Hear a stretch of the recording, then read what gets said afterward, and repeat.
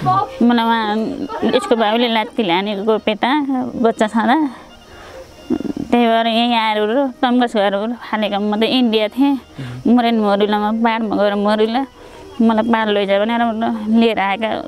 हप्ता पन्ध्र दिनको दिन सत्र दिनको दिन म मर्थेँ एक दिन मात्रै पार भयो तम्गस गएर।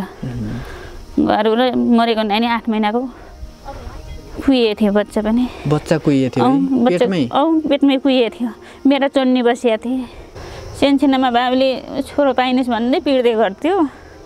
खुट्टा पनि बाँधिदियो तिनजना गाडा तिनजना गाडा खुट्टा भाँचिसकेपछि यसको बक्ती बस्यो। जात्रा बोल्दै पनि बोल्ने थिएन कि? पछि पछि पछि पछि त्यहाँबाट उहाँ भरतपुर नयाँ भरतपुर गएर एउटा यसलाई टाउकाको दबाई दिएको थियो क्या मैले कति खाइरहने होइन अब कता कता पुरा पनि पैसा कता कता पुरा पनि अब काम गर्ने आमालाई सुत्दा अब यता गर्थेँ अब खोला हेरौँ यसको दबाई बन्द गरिदिएछु आफ्नो त अहिले न खाना न गरी खाना न मरिजान भइसक्यो हेर्नुहोस् बाबु नानी नानु के हो नाम शीतल शीतल शीतल हजुर शीतल हजुर कस्तो छ अहिले हजुरलाई मलाई त भित्रभित्र यो के यत्रो गोल छ अरे पाके छ अरे पाक्न लाख त्यही भएर चिल्चिला हुन्छ त्यहाँबाट छटपट्टि छुट्छ। हजुर। छटपट्टि छुट्छ त्यहाँबाट यताउति गर्छु कतिखेर भर्खरै हो कि अन्य हुन्छ त्यहाँबाट घरिघरि दबाई खाएर मर्दाम जस्तो हुन्छु। बुटोल जानुभयो बुटोलबाट बुटोलमा के भन्नुभयो डक्टरले? पहिला? हजुर। पहिला गएँ अब गएपछि त दुई तिन दुई ट्रिप हानेँ मैले। अनि पछि आएँ फेरि गएँ। हजुर। दुई ट्रिप हानेँ तपाईँपछि त म जान्छु भनेर गएँ। अब जोइन भएर ठिक्क परेको मान्छे यताबाट कोही पनि गइ आइदिएनन् होइन? ठिक्कै भयो थियो रेडी भएको थियो बिहान नौ बजी जोइन भएँ। साढे सात बजीसम्म पुरै कोही पनि गएनन्। मेरो लागि त कोही पनि रहन्छ।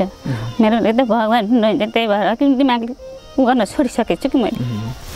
त्यही भएर बिखाएर मर्दा जस्तो भइसकेको छु कहिले जानु नि अब उपचारको लागि फेरि? यो त दिमागले काम गर्दैन धेरै टेन्सन भएपछि त्यो म मात्र मरेर भएन छोरी पनि साथै मरेर भए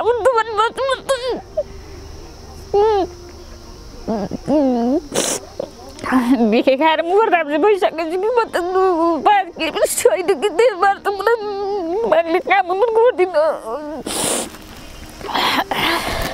मैले सुस्त बोलाएको पनि सुन्न छाडिसकेको छु कि अझ त झन् पछि झन् दिमागले कामै गर्दिनँ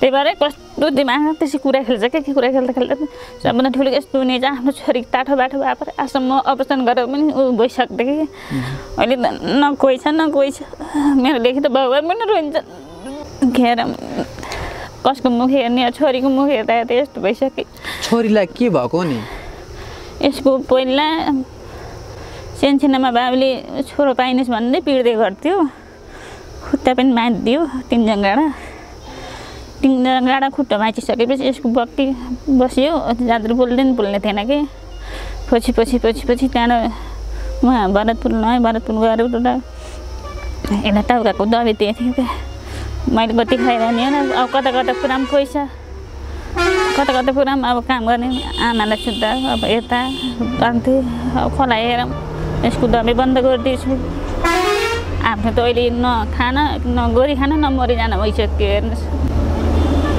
अब आफ्नो गर्छु मान्ने उपाय पनि हराइसकेछ। भित्रभित्र पाकिसकेछ। अब क्यान्सर हुने मात्रै डर छ भनेर भन्थ्यो।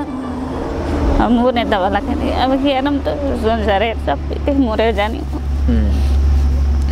त्यही भएर मना धेरै कुरा खेल्दाखेरि दिमागले काम गर्दैन कि अब पैसा मागेछ डेढ लाख जति भन्ने छ कहिले के भन्छन् कहिले के भन्छन् अब घरिघरि बिखाएर मर्दा जस्तो भइसकेको छ म त।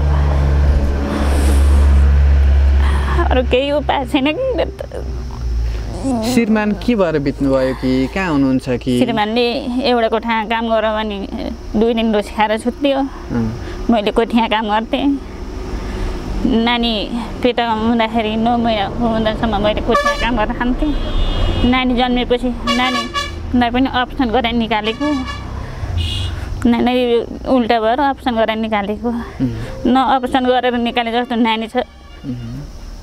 अहिले मैले बहुत धोका खाएको छु कि।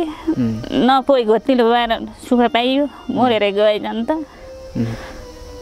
कसैको सहारा पनि पाइनँ कि। पसिआएर चाहिँ खुट्टामा यति घाउ थियो बुढाको। हजुर। बुढाको खुट्टामा घाउ थियो। क्यान्सर भएर मरेको भनेर भन्दै। हस्पिटलमा चाहिँ मरेको लासको देखा ल्याएर गएर किरेर गएको उम्, श्रीमानले माया गर्नुहुन्थेन? श्रीमानले के माया गर्ने? अब रोटी खाने जत्रोसुकै रोटी खाएको ताला जत्रोसुकै रोटी खाने अब एक दिन झेडी अब लियो भने तिन दिन सुत्ने खाने। सक्ने पाए पिट्ने अब त्यस्तै थियो हजुर राम्रो मलाई सुखले कहिले पनि भएन हो, मलाई बाँचुन्जेल नि सुख कहिले पनि भएन कि हजुर यो अमेरिकाबाट यो सहयोग पठाइदिनु भएको छ होइन हजुर हजुरको छोरी हुनुहुन्छ नि हजुर उहाँ उस्तै हुनुहुन्छ मानसिक रोगी हुनुहुन्छ हेर्नु त अमेरिका गएर अमेरिकामा गएर काम गरेर म म जस्तै रहेछ हेर्नु त भनेर तपाईँको तपाईँको छोरीलाई सहयोग पठाइदिनु भएको उपचारको लागि हेर्नु त ए उहाँले हेरेर पठाइदिनु पठाइदिनु भएको। अमेरिकाबाट आरएनजिसी सोह्र वर्षीय आरएनजिसीले हजुरको लागि हजुरलाई हजुरको छोरीलाई उपचारको लागि भनेर केही सहयोग पठाउनु भएको छ। उहाँ पनि त्यस्तै हुनुहुन्छ बिरामी हुनुहुन्छ मानसिक रोगी हुनुहुन्छ। उहाँ पाँच वर्षको उमेरसम्म ठिकै हुनुहुन्थ्यो त्यसपछि उहाँ पनि बिरामी हुनुभयो। बिरामी हुनुभयो मानसिक रोगी हुनुभयो। मानसिक रोगी भए पनि अमेरिका जस्तो ठाउँमा उहाँले ट्रेनिङ पाउनुभयो राम्रो ट्रेनिङ पाउनुभयो त्यसपछि उहाँले खाली बोतलहरूको काम गर्न थाल्नुभयो त्यहीँ कमाएको पैसा त्यहीँ खाली बोतलहरू जम्मा गरेर कमाएको पैसा। आज हेर्नुहोस् त हजुरको छोरीलाई हजुरलाई उपचारको लागि पठाउनु भएको छ। योभन्दा अगाडि दाम्लोमा बाँधिएको बच्चाको लागि र आमाको लागि रासन पानी कपडाहरू पठाइदिनु भएको थियो। आज हजुरको लागि पनि पठाउनु भएको छ। आरएनजिसी अहिले अमेरिकामा हुनुहुन्छ। उहाँले फेरि पनि पठाउँछु भन्दै हुनुहुन्थ्यो। र आज हजुरलाई पठाउनु भएको छ त्यही सहयोग लिएर म आज हजुरको घरमा आएको छु। हजुर यो पैसाले के गर्नुहुन्छ नि लिनु? अब त्यही दबाईमा उ गर्ने त के अरे अब दबाईलाई पुग्दैन। डेढ लाख भनेछ मसिम चाहिँ लगभग यहाँ अडतिस हजार छ। अडतिस हजार उता मेरो भजनले पठाइदिएपछि बयालिस हजार। हजुर। भनेपछि असी हजार हुन्छ। हजुर। नब्बे पन्चानब्बे लगभग करिब करिब एक लाख जति हुन लागेछ अब।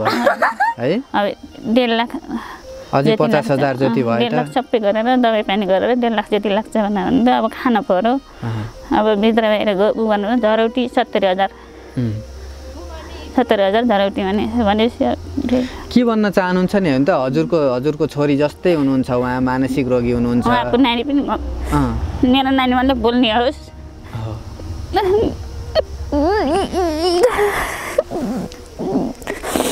मेरो नानी जस्तो कसैको बच्चा पनि नहोस् अब म त सोध्नु पनि नहोस्, यस्तो न- अब म त सोध्नु पनि नहोस्, यस्तो न- उम्, भरि सक्ला हो यस्तो नानी कसैको पनि अहिले आफूलाई दुःख पर्दा हिँड्को हेर्ने कि आफ्नो हेर्ने हो। रोटी नपरी खान र नमरी जान अन्न नानीले पानी पकाएर खान दिन्छ एउटा तातो पानी खाने उपाय हुन्न हेर्नुहोस् यस्तो नानी त कसै खानु न मान्छेहरूलाई पिरो नपरोस् भन्छु मैले त त्यही भनेर हात जोडिरहेको छु मैले त हजुर उहाँले चाहिँ उहाँ सिर्जना दिदीले चाहिँ होइन हजुर। हजुरको लागि रासन पानी अनि। कपडाहरू ल्याउन भन्नुभएको थियो। त्योभन्दा ठुलो कुरा हजुरको उपचारको लागि भनेर। मैले चाहिँ केही नल्याइकन पैसा मात्रै दिएको छु ठिक छ हजुर हुन्छ अब हुन्छ के भन्न चाहनुहुन्छ नि उहाँलाई यस्तो नानी राम्ररी होस्। उहाँको बोल्ने होस् हिँड्ने डुल्ने होस् मेरो नानी जस्तो कसैको नहोस्। त्यही हो मेरो भन्ने कर्तव्य त। नानी बोल्छ तपाईँको? केही बोल्छ नानी? बोल्नु त खै तपाईँ। बाबु नमस्ते भन। नमस्ते भन। मामा नमस्ते भन त। के भनेको? नमस्ते भनेको। ए नमस्ते भनेको। ए नमस्ते। मामा सन्चै भन त। अँ। हुन्छ। श्रीमानले माया गर्ने थिएन? श्रीमानले। पहिलो पहिलो त अब नौलामा त सबै गुने भएको नानी अब छोरा पाइनँ भनेबाट मेरो नानीको अपरेसन गर्दाखेरि अरू सिग्नेचर गरेर उ नानी अपरेसन गरेको हेर्नुहोस् त्यसरी फ्याँकिदिएर ए। कति कति दुःख पाएको मैले यति दुःख पाएको होइन। अझैसम्म अहिले मलाई दुःखले छोडेको छैन। मलाई दुःखले अझै छोडेको छैन। मैले सुखको साथ पनि पाएको छैन। सधैँ मेरो आँखा आँसुको धारा मात्रै छ। कहिले कहिले खुसीको मनले मलाई बोल्न छैन। मनभित्र गाँठो पारेर बोल्नु परेछ। अब कहिले कस्तो मन आफूलाई हुन्छ नि एउटा रोजबाट बोल्न कहिले मलाई खुसीले कहिले बोल्न छैन। मेरो सधैँ आँखा आँसु भरिरहेको छ। के भएर यस्तो भयो? केही थाहा छ हजुरलाई? हजुर। के भएर यस्तो भयो हजुरलाई? खै मलाई हजुर। यो नानी यस्तो मरेको नानी फाल्दाखेरि असर परेछ कि जस्तो लाग्थ्यो मलाई त। मलाई उहाँ यसको बाबुले लात्ती हानेको पेटा बच्चा छँदा। त्यही भएर यहीँ आएर र तम्गस फालेको म त इन्डिया थिएँ। मरेन मरुलामा पाहाडमा गएर मरुला। मलाई पाहाड लैजा भनेर लिएर आएका। हप्ता पन्ध्र दिनका दिन सत्र दिनका दिन म मर्थेँ एक दिन मात्रै पार भयो तम- तम्गस गएर। घरबाट मरेको नानी आठ महिनाको।